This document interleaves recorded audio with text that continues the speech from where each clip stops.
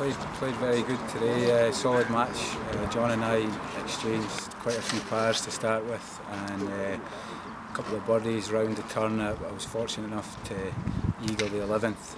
We halved birdies on 12 and 13, and uh, I was fortunate enough to win uh, 14 with a par, and then it was just a case of trying not to do anything silly and know John to, to have a go and I was fortunate enough to, to hold on and uh, win the match on 17 so I'm delighted looking forward to the quarters now so it's great you know it's been really good fun so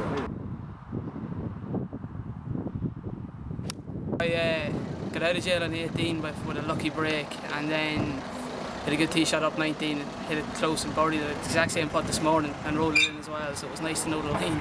No, played really well, both played, feel sorry for Ross because he played very well the whole way around. No, it just it was a great game, Ross played very well, I can't praise him enough for his game, like it was really well fought out game. Well, so far the weather has been very good. The course is absolutely excellent, and uh, it's a credit to the way it's uh, been uh, souped up for this competition, and also for the Open, which is to happen in two years' time. Yeah. So it's a credit to Royal Portrush.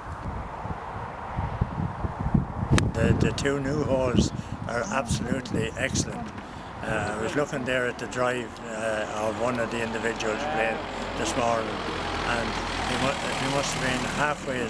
He was about 20 or 30 yards over the new uh, big bunker on the right.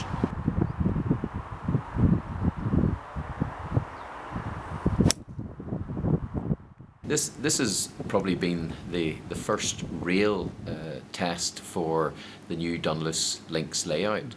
Uh, we now have effectively 300 uh, Category One scratch players uh, all uh, playing the two new holes on Dunluce in particular uh, are being carefully observed. So the, the feedback so far has been most encouraging. Yeah, I mean, I've spoken to quite a few of the players this week. Um, indeed, a number of the players uh, would have even this two-year ambition to be part of the Open Championship in 2019. So this uh, is really a part of history this year. Um, we've had a lot of history with the north of Ireland uh, since its origin and new holes coming into the Valley Links uh, back even around the early 1950s. So it is one of the great amateur championships that has seen a huge amount of change over the past 60, 70 years. Uh, great changes here on both the Valley and Dunluce, but uh, th this is particularly special now uh, because these players will be the first to say that they've played under championship conditions. Indeed, played the Open Championship course uh, at Royal Portrush